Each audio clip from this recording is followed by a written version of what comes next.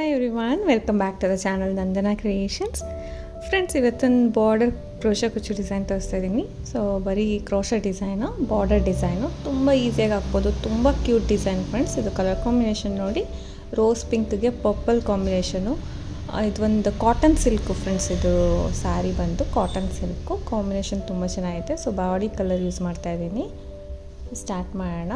ತುಂಬ ಈಸಿ ಮತ್ತು ತುಂಬ ಕ್ಯೂಟ್ ಡಿಸೈನ್ ಫ್ರೆಂಡ್ಸ್. ಮೈಸೂರು ಸಿಲ್ಕ್ಗೆ, ಕಾಟನ್ ಸಿಲ್ಕ್ಗೆ, ಸಾಫ್ಟ್ ಸಿಲ್ಕ್ಗೂ ಆಗುತ್ತೆ.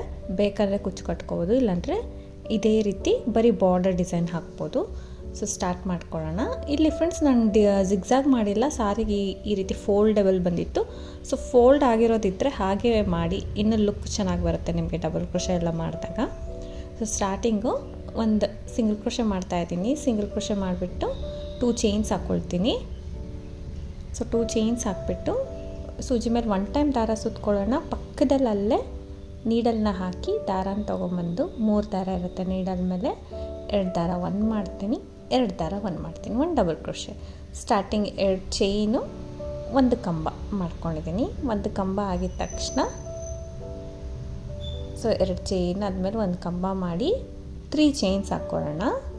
ಮೂರು ಚೈನ್ಸ್ನ ಹಾಕ್ಕೊಂಡು ಈ ಟೂ ಚೈನು ಒಂದು ಕಂಬದ ಮಧ್ಯದಲ್ಲಿ ಗ್ಯಾಪ್ ಇರುತ್ತೆ ಅಲ್ವಾ? ಅಲ್ಲಿ ನೀಡಲ್ಲಿ ಹಾಕಿ ದಾರನ ತೊಗೊಂಡು ಬಂದು ಸೊ ಎರಡು ದಾರ ಸೇರಿ ಒಂದು ಮಾಡ್ಕೊಳ್ಳಿ ಇದು ಪಿಕಾಟ್ ಡಿಸೈನ್ ಫ್ರೆಂಡ್ಸ್ ಪಿಕಾಟ್ ಆಗುತ್ತೆ ನಮಗೆ ಇವಾಗ. ಒಂದು ಪಿಕಾಟ್ ಮಾಡಿದ್ವಿ ಡಬಲ್ ಕ್ರೋಶೆ ಮಾಡಿ ತ್ರೀ ಚೈನ್ ಹಾಕಿ ಪಿಕಾಟ್ ಆಯ್ತಲ್ವ? ಸೊ ಅಲ್ಲಿಂದ ಒಂದು ಚೈನ್ ಎಕ್ಸ್ಟ್ರಾ ಸೊ ಒಂದು ಚೈನ್ ಎಕ್ಸ್ಟ್ರಾ ಹಾಕಿ ಮತ್ತೆ ನೀಡಲ್ ಮೇಲೆ ದಾರ ಸುತ್ಕೋಬೇಕು.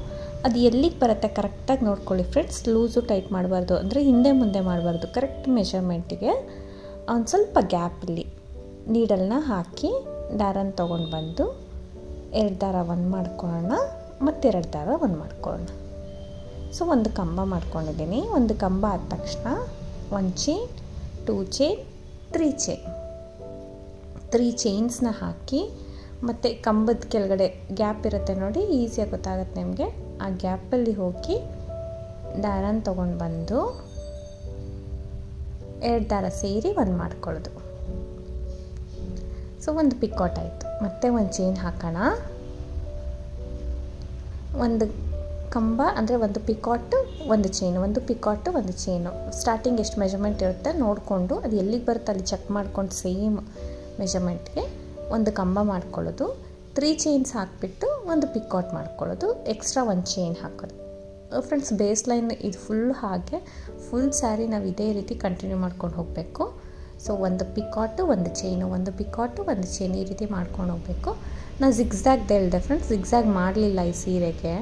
ಸೊ ಫೋಲ್ಡ್ ಮಾಡಿರೋದನ್ನ ಹಾಗೆ ಹಾಕ್ತಾಯಿದ್ದೀನಿ ಇದು ಲುಕ್ ಚೆನ್ನಾಗಿ ಬರುತ್ತೆ.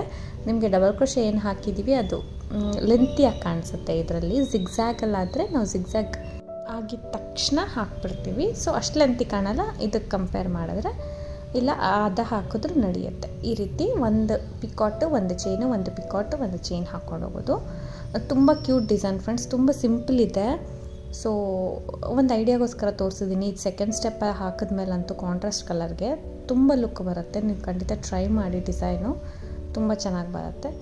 ಪಿಕಾಟ್ಸ್ ಹಾಕ್ಕೊಂಡು ಹೋಗೋದು ಸಿಂಪಲಾಗಿ ಒಂದು ಚೈನು ಒಂದು ಪಿಕಾಟ್ಸು ಹಾಕ್ಕೊಂಡು ಹೋಗೋದು ಒಂದೇ ಮೆಷರ್ಮೆಂಟಲ್ಲಿ ಈ ರೀತಿ ಕಂಟಿನ್ಯೂ ಮಾಡ್ಕೊಂಡು ಹೋಗೋದು ಫ್ರೆಂಡ್ಸ್ ಇದು ಫಸ್ಟ್ ಸ್ಟೆಪ್ ಹಾಗೆ ಕೂಡ ಬಿಡ್ಬೋದು ಇದಕ್ಕೆ ಬಟ್ ಇನ್ನೊಂದು ಸ್ಟೆಪ್ ಹಾಕಿದ್ರೇ ಇದಕ್ಕೆ ಲುಕ್ ಚೆನ್ನಾಗಿ ಬರೋದು. ಇದು ಬರೀ ಜಸ್ಟ್ ಪಿಕಾಟ್ಸ್ ಅಷ್ಟೇ.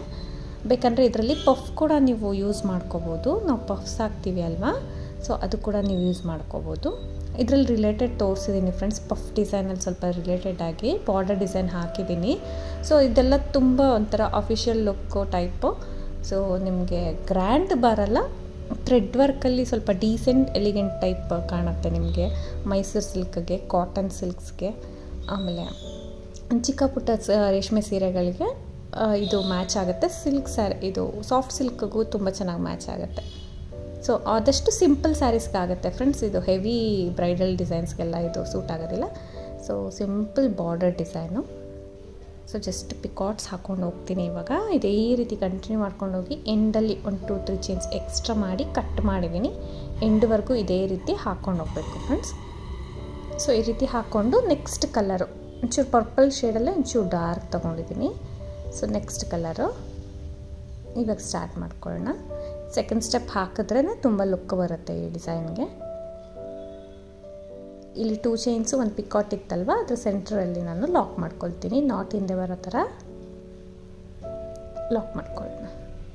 ಸೊ ಇಲ್ಲಿ ಆರೆಳೆ ಕೂಡ ತೊಗೋಬೋದು ಫ್ರೆಂಡ್ಸ್ ಇಲ್ಲಾಂದರೆ ಏಳೆಳೆ ಕೂಡ ಡಿಸೈನಿಗೆ ತೊಗೋಬೋದು.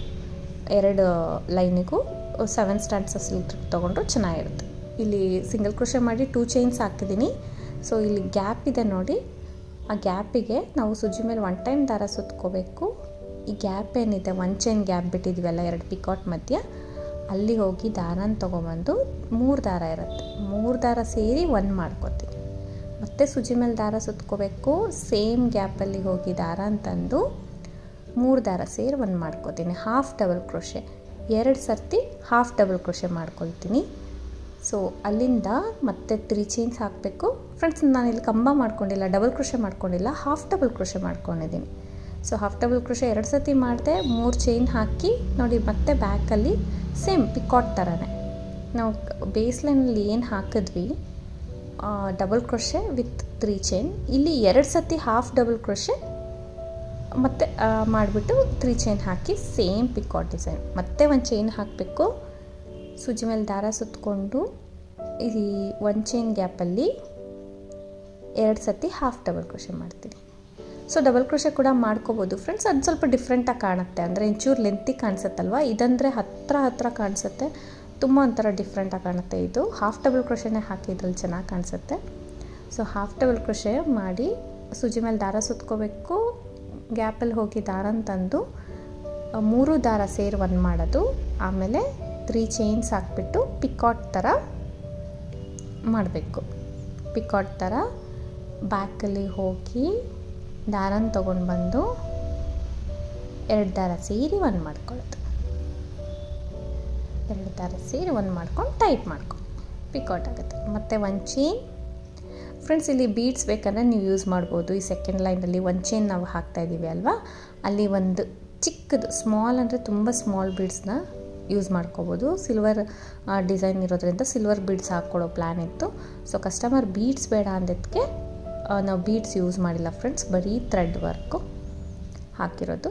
ಸೊ ಇನ್ ಕೇಸ್ ನಿಮಗೆ ಬೀಡ್ ಬೇಕಂದರೆ, ಆ ಒನ್ ಚೈನ್ ಸ್ಕಿಪ್ ಮಾಡಿ, ಆ ಪ್ಲೇಸಲ್ಲಿ ಒಂದು ಬೀಡನ್ನ ಹಾಕಿ.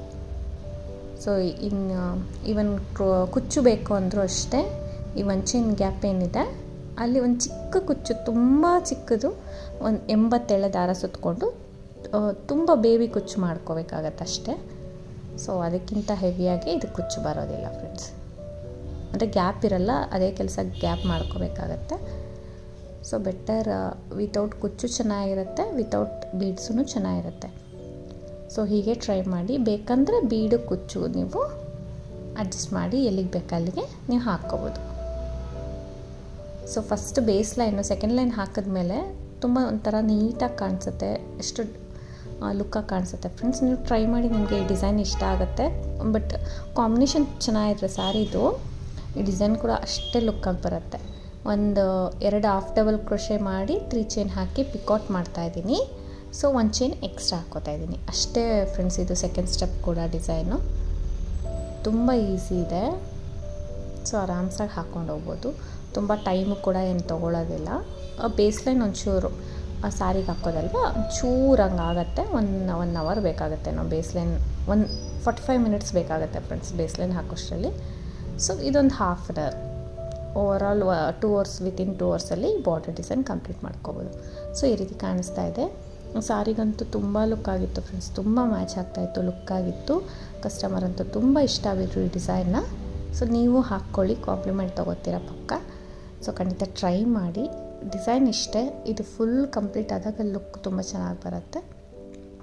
ಈವನ್ ನೀವು ದುಪ್ಪಟ್ಟಸ್ಗೆ ಬ್ಲೌಸ್ ಸ್ಲೀವ್ಸಿಗೆ ಕೂಡ ಹಾಕೋಬೋದು ಫ್ರೆಂಡ್ಸ್ ಇದು ತುಂಬ ಚೆನ್ನಾಗಿ ಕಾಣಿಸುತ್ತೆ ಬ್ಲೌಸ್ ಸ್ಲೀವ್ಸ್ಗೆ ಅಥವಾ ಇನ್ನೇನಾದರೂ ನೀವು ಕ್ರಿಯೇಟಿವ್ ಥರ ಥಿಂಕ್ ಮಾಡ್ಕೊಂಡು ಹಾಕೋಬೋದು ಎಲ್ಲಿ ಬೇಕಂದರೆ. ಸೊ ಫೈನಲ್ ಲುಕ್ ನಿಮಗೆ ಸ್ಯಾರಿಗೆ ಈ ರೀತಿ ಕಾಣಿಸ್ತಾ ಇದೆ. ಸೊ ಇಷ್ಟು, ಈ ಡಿಸೈನ್ ಟ್ರೈ ಮಾಡಿ ಫ್ರೆಂಡ್ಸ್ ಪಕ್ಕ ಟ್ರೈ ಮಾಡಿ. ಏನಿಲ್ಲ, ತುಂಬ ಸಿಂಪಲ್ಲು ಸೊ ಒಂದು ಐಡಿಯಾಗೋಸ್ಕರ ತೋರಿಸ್ತಾ ಇದ್ದೀನಿ. ಆ ಬಾರ್ಡರ್ ಡಿಸೈನು ಸರ್ಚ್ ಮಾಡ್ತಾ ಇರ್ತಾರಲ್ಲ, ಅವ್ರಿಗಂತ. So base line picots second line picots but second line picots ಹಾಕಿದ್ದೀವಿ ಅಂತ ಕಾಣಲ್ಲ ನಮಗೆ. ಒಂದು ಸ್ವಲ್ಪ ಡಿಫ್ರೆಂಟಾಗಿ ಕಾಣಿಸುತ್ತೆ. ಇಷ್ಟೇ ಡಿಸೈನು ಖಂಡಿತ ಟ್ರೈ ಮಾಡಿ ಚೆನ್ನಾಗಿ ಬರುತ್ತೆ. ತುಂಬ ಸಿಂಪಲ್ ಇದೆ. ಬಿಗಿನರ್ಸ್ಗೂ ಯೂಸ್ ಆಗುತ್ತೆ ಫ್ರೆಂಡ್ಸ್ ಇದಕ್ಕೆ ಪ್ರೈಸ್ ಬಂದು ನೀವು ತ್ರೀ ಫಿಫ್ಟಿ ಅರೌಂಡ್ ಚಾರ್ಜ್ ಮಾಡ್ಬೋದು. ಕಡಿಮೆ ಜಾಸ್ತಿ ನೋಡ್ಕೊಂಡು ನೀವು ಮಾಡ್ಕೊಳ್ಳಿ. Three hundred three fifty around charge ಮಾಡ್ತಾರೆ. ಪ್ಲೇಸಸ್ ಡಿಪೆಂಡ್ ಆಗುತ್ತೆ. ಸೊ ಈ ಡಿಸೈನ್ ಇಷ್ಟ ಆಗಿದ್ರೆ ಟ್ರೈ ಮಾಡಿ ಫ್ರೆಂಡ್ಸ್ ಒಂದು ಲೈಕ್ ಕೊಡೋಣ ಮರಿಬೇಡಿ ಹೊಸಬ್ರು ನೋಡ್ತಾ ಇದ್ದರೆ ಪ್ಲೀಸ್ ಸಬ್ಸ್ಕ್ರೈಬ್ ಮಾಡಿ. ಸಪೋರ್ಟ್ ಮಾಡಿ so thank you for watching friends thank you